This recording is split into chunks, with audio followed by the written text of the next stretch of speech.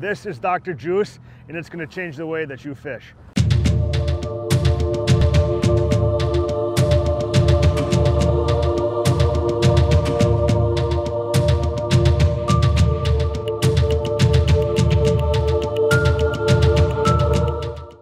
So here's kind of the background story to this all. Oh About two weeks ago, we were down fishing in Wisconsin waters and it was a Saturday. We went out there, we clobbered the fish. We caught 30 or 40 in a couple hours. Sunday, we went back to the same exact spot, same location, same weather conditions. We couldn't catch a fish to save our life. We were marking a few here and there. I just figured, you know, the majority of the fish left the area for whatever reason, but that seemed kind of weird to me because we were there, you know, 16 hours earlier. So we were trolling and we recently rigged up cameras above our lures to, I mean, to get this really incredible footage of these fish hitting. So, you know, that Sunday, the next day, we had, we were out there fishing. We could not catch a fish. It was tough. It was brutal. But we had our cameras down there. So, I, you know, we you can't review this footage out in the boat. So we don't really know what's going on. So we get home, you know, I didn't expect to see much on the camera because we didn't catch any fish.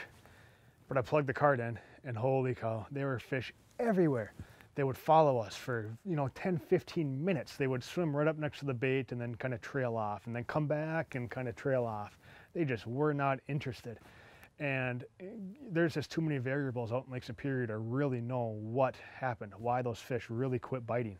You know, you have tides, you have currents, you have barometric pressure. I mean, there's just so many changing conditions out on Lake Superior. It's really hard to know. So I didn't, you know, just astounded me. So what we did is we messaged our friends from Dr. Juice Fishing Company. They're up here out of Duluth, Minnesota, and they make fishing scents. Okay, so it's a water and oil-based scent that you apply right to your lure. And we asked them, have you guys ever seen this before? And they're like, yeah, you know, we've seen it a few times, but not with trout, you know, in this deep of water. Um, so we're like, can I try some? You know, they make a trout and salmon specific scent that you put on your spoons. So we grabbed we grabbed some scent from them. We went out the uh, was it about four days later and tried this, and the results were immediate. These fish just came up and just whacked it. They did not hesitate at all. It was absolutely incredible. And still yet, I mean, it's been three or four times out now. I haven't had camera footage of a fish coming and following it and then trailing away. Every time the fish came up and whacked it. And I mean, I'm not saying it's 100% due to the scent, but it helps. I mean, it's definitely increased our catch rate and you know on days that are tough you know like september you know it's mid-september right now fishing can be really tough out on lake superior. You have changing water temperatures the fish are getting into a spawning mode.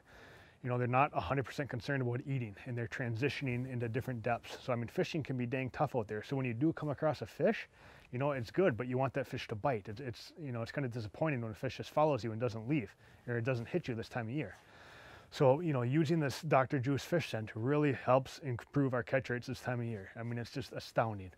So I'm excited to see what this product has in store for us later this fall as we get out into the open waters of Lake Superior with our big wand here. Stay tuned and we'll hopefully have some good content for you.